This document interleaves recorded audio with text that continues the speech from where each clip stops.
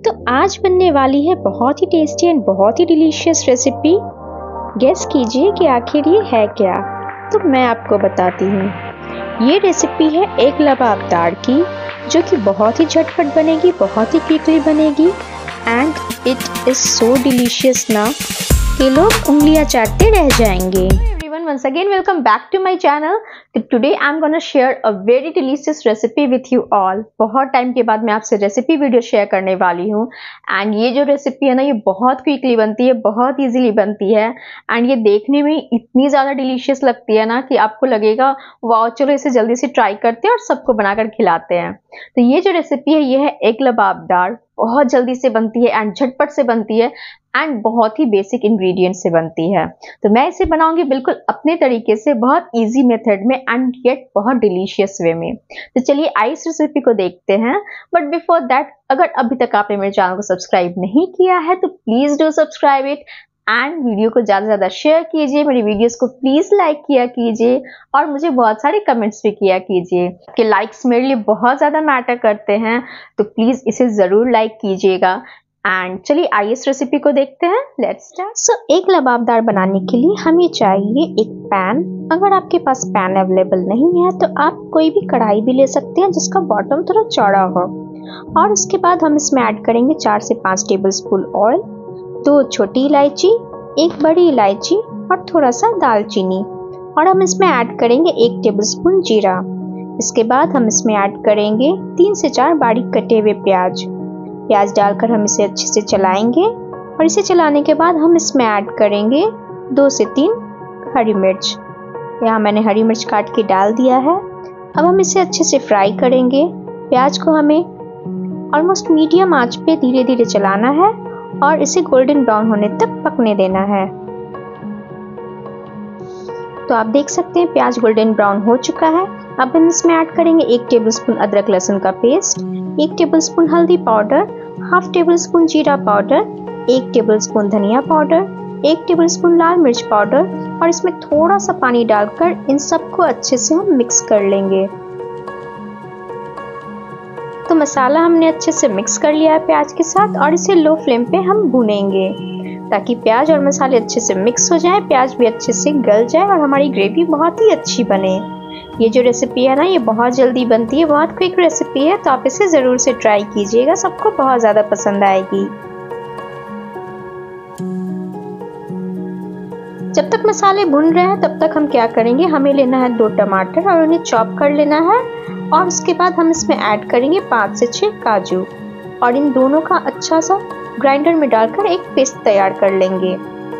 तो दो से तीन मिनट मसाले भुनने के बाद आप देख सकते हैं हमारे मसाले का कलर ऐसा आ जाएगा। और उसके बाद हम इसमें ऐड करेंगे अपने टोमेटो प्यूरी यह मैंने टमाटर और काजू का पेस्ट इसमें डाल दिया है। अब हम इसे भी तीन से चार मिनट तक अच्छे से भूनेंगे ताकि टमाटर का कच्चापन भी चला जाए और हमारे मसाले भी अच्छे से भुन जाएँ और एक बहुत ही यमी ग्रेवी रेडी हो। तो हमें इस मसाले को बिल्कुल लो फ्लेम पे भूनना है। अगर आप चाहें तो इसे ढककर भी भून सकते हैं और अगर आप चाहें तो इसे बिना ढके भी भून सकते हैं।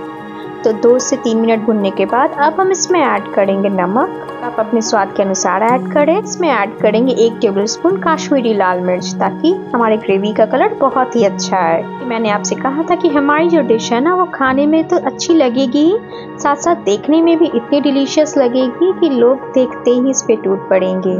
सो so, बिल्कुल लो फ्लेम पे दो से तीन मिनट भूनने के बाद हमारे मसालों का कलर आप देख सकते हैं ऐसा आ गया है। और अब हम क्या करेंगे? हम इसमें ऐड करेंगे कस्तूरी मेथी। तो मैंने यहाँ ऐड किया है एक टेबल स्पून कस्तूरी मेथी। हमें लो फ्लेम पे इसे एक मिनट तक और फ्राई करना है। कस्तूरी मेथी हमारे डिश को बहुत ही अच्छा फ्लेवर देगी। तो एक मिनट और भुनने के बाद आप देख सकते हैं हमारे मसाले ने तेल छोड़ दिया है और अब हम इसमें ऐड करेंगे पानी।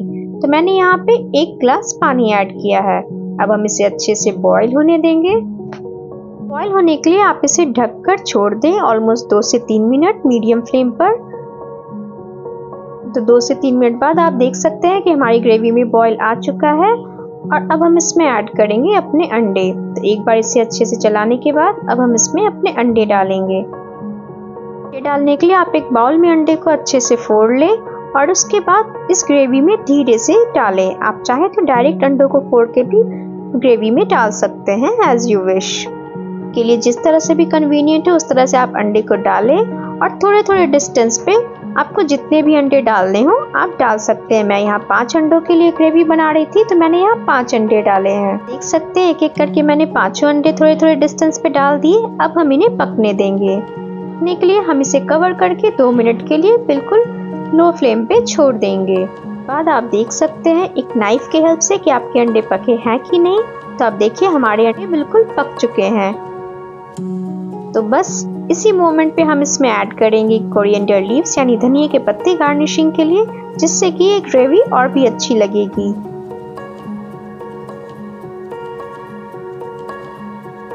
धनिया पत्ते डालने के बाद आप गैस का फ्लेम ऑफ़ करें एंड एक लवाबदार is ready so you can see कि हमारी ग्रेवी हमारी डिश कितनी अच्छी लग रही है। Now it's time to serve तो आपको बिल्कुल हल्के हाथों से एक एक अंडे को निकालना है। और इस तरह से आप इसे एक डिश में निकाल लें। आप देख सकते हैं कि ये कितनी टेस्टी एंड डिलीशियस लग रही है और कितने अच्छे से पक के रेडी हो गई है। से आप इसके साइड्स में ग्रेवी भी निकालें और इसके ऊपर थोड़ा सा ब्लैक सॉल्ट और थोड़ा सा जीरा पाउडर छिड़क दें, ताकि जो एग योक है उसका टेस्ट बिल्कुल भी फीका ना लगे। हम ऊपर से धनिया पत्ते से गार्निशिंग करके इसे सर्व करेंगे and it is looking so yummy and delicious तो आप इस रेसिपी को ज़रूर ट्राई कीजिएगा। जवाब देखने में रेसिपी और खाने में भी ये बहुत टेस्टी लगने वाली है। किसी रेस्टोरेंट से कुछ ऑर्डर किया हुआ नहीं। डिलीशियस रेसिपी को आप ज़रूर ट्राई कीजिएगा और सबके साथ ज़रूर एंजॉय कीजिएगा बहुत ज़्यादा यमी तो आप इस रेसिपी को ज़रूर ट्राई कीजिए सबको खिलाइए एंड सबसे बहुत ज़्यादा तारीफ़ पाइए।